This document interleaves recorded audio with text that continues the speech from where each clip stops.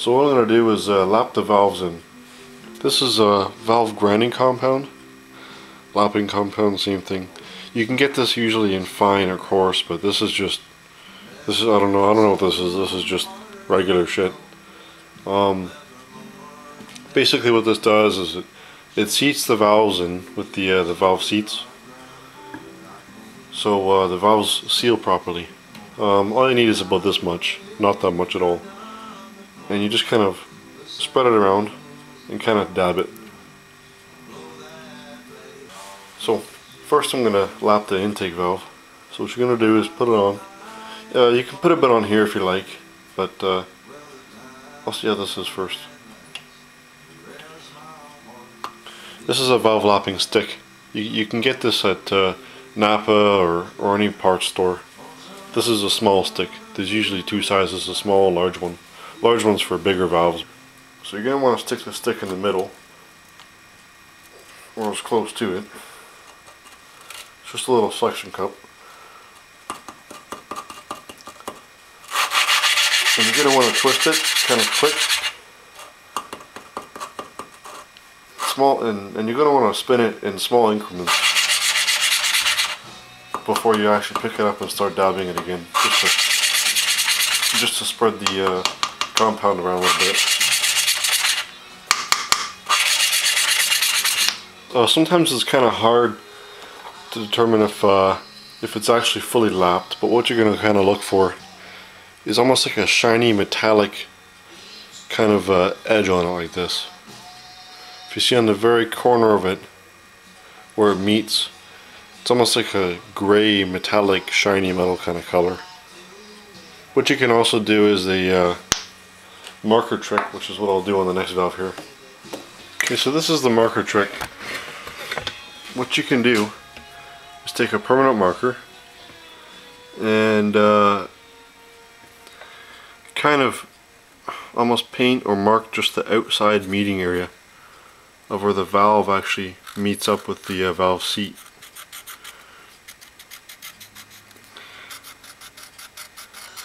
The whole point of this is so uh, you, you know where you've actually lapped the valve and you know where you haven't. All the black spots kind of uh, show where the valve hasn't been lapped yet and all the clear spots shows where the valve has been lapped. So that's a really easy way so you can tell if the valve's been lapped properly or not. So after having lapped both valves, um, I'm going to now uh, put them back in with the springs and all the retainers and everything. But uh, make sure you don't lap the valves too much because uh, sometimes you can actually lap them too much and uh, it'll make too much of a spot that's actually lapped with the valve. And also if you lap it too much it'll actually um, make uh, less of a gap between your uh, valve, valve to tappet clearance. There's actually a set valve to tappet clearance. Uh, unfortunately for this engine I don't know it. So I'm kind of just kind of have to go with everything that's you know kind of going on. But um, on a regular you know Briggs and Stratton, um, the clearance is, is in the book. And sometimes uh, if you lap it in too much, the valve will actually be sticking up a little tiny hair, like hair amount, because uh, the valve to tappet clearance is what controls um, the, the space between the bottom of the valve and the top of the tappet which is inside here. And if that space isn't enough, it's not going to get enough uh, oil between it. And of course, if it's too much of a space, the, the valve will um, have a delay with coming up, so it'll kind of retard the timing. And it also won't lift the valve up as much as what it would if the valve to tappet clearance is proper. Okay, uh, I just got the hardest uh, valve in, which is the exhaust valve. Um, one good way to tell if your valves are actually sealing properly is if you shine the light here in the port, um, you can see if there's any light shining around the valve, which there isn't. And if you shine the light at the valve, there's nothing coming in from the port. That's a quick way to tell if your valve's uh, good or if you should relap it or if it's sealing at all, you know. Maybe uh, the clearance might be off or something, you know. Um, but yeah, this one was really good. Seems like the more and more I work on this engine, the more I like it. I've never really worked on a Honda, taking it apart at least. Um, I was looking at it and uh, this is actually a copper ring around this gasket. So uh, it looks like a, some kind of crush ring. But uh, I'm pretty sure I can reuse this gasket no problem. Um, that's good. I've never really seen a copper, a copper ring around it before. Um, on all the Briggs and Stratton ones, it's just the whole thing's just composite, but it's pretty cool with the copper ring. I like it. So remember when you uh, torque down the head, um, always uh, torque it crisscross pattern, even with a used gasket or with anything, because if you torque it, you know, like kind of one way, um, what it can do is it can wrinkle the gasket and it can break it. So, uh, but if you crisscross it, it actually tightens the gasket properly and puts everything down, you know, at a proper pressure for all the way around. So uh, it doesn't damage the gasket. Usually there's actually a three-step torquing uh, method. Uh, same for car tires too. There's actually a three-step one where you torque it like a low, medium, and like a high for the full torque. But uh, most people just skip it and they just go to, you know, straight to the torque. Or just a two-step where it's like medium and then hard. But uh, I don't know the torque specs for this, so um, I'm just going to torque it until it feels right. Um, yeah, so I'm just going to start off doing like a low, medium kind of torque. Then I'll do the uh, stronger torque.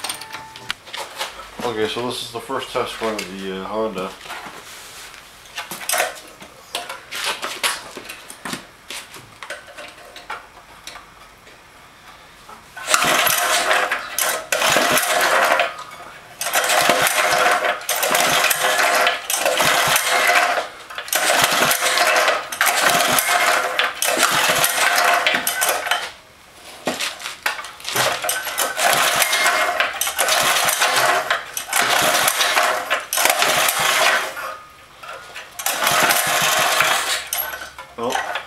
Try it.